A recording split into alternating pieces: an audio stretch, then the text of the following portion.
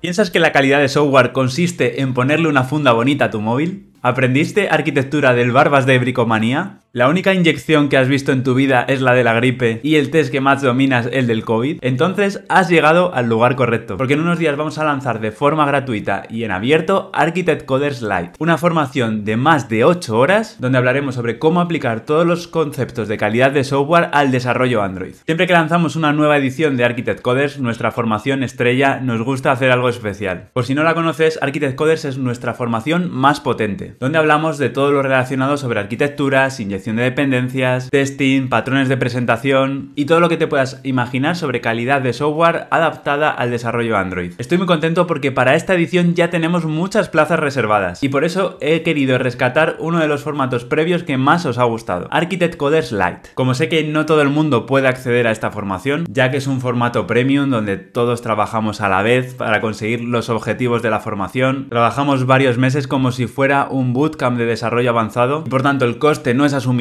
para todo el mundo, nos gusta lanzar este previo en abierto para cualquiera que quiera apuntarse. ¿Y qué va a ser Architect Coders Lite? Va a ser una formación totalmente gratuita donde te voy a enseñar las bases del desarrollo de software de calidad aplicadas al mundo Android. La realidad es que todo lo que aprendas aquí lo vas a poder aplicar en cualquier tecnología, pero como yo estoy enfocado en Android, pues lo vamos a enfocar un poco en ese área. Será una formación de cuatro directos donde el hilo conductor va a ser la creación de una aplicación Android desde cero. En esta aplicación vamos a aplicar por un lado las guías de arquitecturas que nos recomienda Google, pero lo vamos a hacer utilizando el método SEAT, que es un método que aplicamos durante toda la formación de Architect Coders, de tal forma que te va a ser mucho más sencillo entender y aprender todos esos conceptos paso a paso. Además, aparte de eso, por supuesto, te iré contando ciertas partes de Architect Coders que estará abierto desde el primer día por si te animas a apuntarte a la formación completa. En estas sesiones también hablaremos de algunos conceptos fundamentales del desarrollo profesional, junto con esos bloqueos mentales que hemos detectado de ediciones anteriores de Architect Coders y que nos ayudarán a entender por qué no seguimos avanzando en nuestra carrera profesional en el mundo del desarrollo y cuáles son los puntos en los que podemos aplicar estos cambios. Trataré de conseguir en ti que hagas esos clics mentales que te ayuden a seguir evolucionando profesionalmente y enfocar tu carrera en la dirección que te interese. Por supuesto, en estas cuatro sesiones, si accedes en directo, podrás resolver todas las dudas que tengas. ¿Y cómo se va a hacer esta formación? Esta formación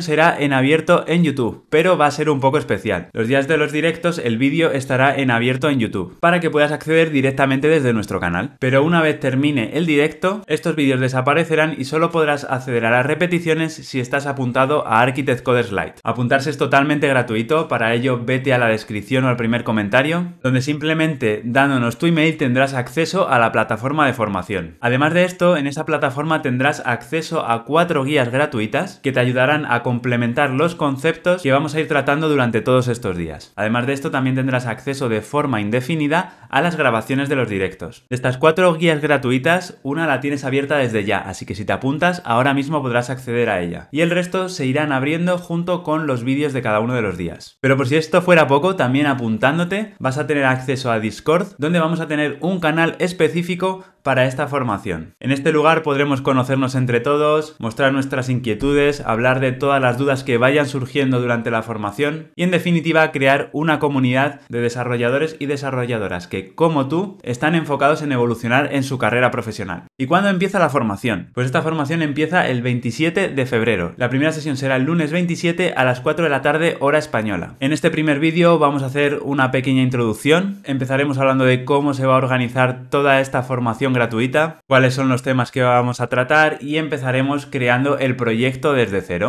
Además, en este punto quiero que localices en qué situación te encuentras actualmente en tu evolución como profesional para que también sepas en qué puntos vas a tener que poner más énfasis a lo largo de estos días. Pero no solo eso, empezaremos a ver también parte de la separación entre la lógica de UI y la lógica de aplicación, veremos cuáles son los problemas de tenerlo todo junto y trataremos sobre algunos temas básicos de calidad de software, que nos dé herramientas para crear un código más mantenible, más escalable y sobre todo más testeable, que es algo que vamos a necesitar en otro de los vídeos. El segundo vídeo, que será el miércoles 1 de marzo, también a las 4 de la tarde, se va a centrar en la capa de UI. Hay mucho que hablar de interfaces, obviamente, si estamos trabajando en una plataforma que prima la interfaz y la interacción con el usuario, y por tanto aquí hay mucho de lo que hablar, así que vamos a dedicar una sesión exclusiva para ello. Veremos cuál es la arquitectura más recomendable a nivel de UI, dónde tenemos que poner la lógica de negocio, cómo nos comunicamos entre la interfaz y esa lógica de negocio, cuáles son las distintas formas de modelar el estado con el que luego nos vamos a comunicar con la UI y también cómo hacer que esa interacción sea lo más eficiente posible. El tercer vídeo ocurrirá el viernes 3 de marzo, donde vamos a tratar sobre arquitecturas más en profundidad y en particular vamos a ver las capas de datos y de dominio y vamos a terminar de estructurar todo nuestro código para que esté lo más organizado posible. Vamos a ver aquí ya conceptos que incluso algunas empresas de mediano y gran tamaño no están utilizando todavía y que te van a dar un nivel de calidad muy superior al de la mayoría de programadores. Aquí vamos a ver cuáles son las posibilidades que tenemos en cuanto a arquitectura y cuál es la arquitectura que nos proponen en las guías oficiales de Android. Pero no nos vamos a quedar ahí. Vamos a entender que todavía nos queda por dar unos cuantos pasos más allá para poder hacer una arquitectura lo más escalable posible. Hay ciertos conceptos que en las guías de arquitectura de Android no se nos explican, pero que nos van a ayudar mucho a independizarnos de elementos externos, como pueden ser librerías de terceros, el framework, y todo esto es lo que vamos a estar viendo. Si quieres aprender cualquier cosa sobre arquitecturas Android, vente a este directo porque va a ser vital. Y por último, pasaremos al cuarto vídeo, que será el lunes 6 de marzo. Volveremos a las 4 de la tarde y estoy seguro de que muchos de vosotros estaréis esperando con ansia este vídeo, porque aquí vamos a hablar sobre testing. Ahora que tenemos una arquitectura perfectamente preparada para poder ser testeada, vamos a hacer nuestros primeros tests y ver cómo funcionan los test unitarios. Obviamente no vamos a poder entrar en todos los tipos de test que existen, pero con la base que tenemos sí que vas a poder empezar a crear tus primeros test unitarios para que empieces a tomar soltura con el sistema de testing de Android. Y también para que veas por qué tiene sentido esa complejidad que hemos ido añadiendo a la arquitectura durante los vídeos anteriores. Veremos también que gracias a la arquitectura que hemos montado podemos trabajar tanto con XML como con Jetpack Compose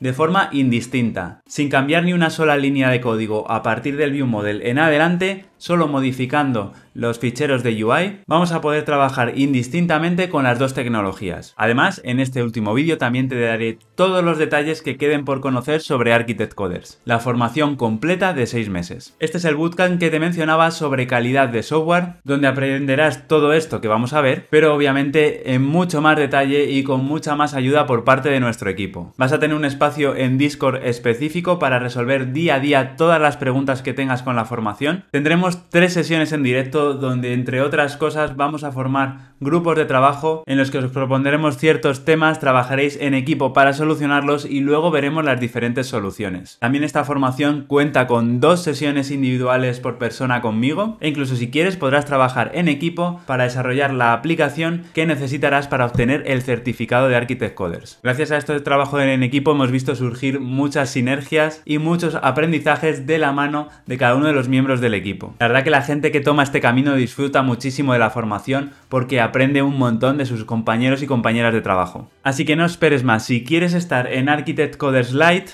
apúntate de forma gratuita, lo tienes en el primer comentario en la descripción y esto te dará acceso a la plataforma y a las guías gratuitas que te comenté anteriormente. Vas a tener cuatro guías, la primera de ellas sobre los principios Solid ya la tienes abierta y durante los siguientes vídeos iremos abriendo las siguientes guías para que puedas descargártelas también. Te pedimos también que desde ya reserves el tiempo para esas sesiones en directo, que calculamos que serán de una duración de unas dos o tres horas y que va a ser la mejor forma de sacarle partido a esta formación gratuita. Así que sin más, me despido. Espero contar contigo en la formación de Architect Coders Lite y que nos veamos muy pronto. Un abrazo.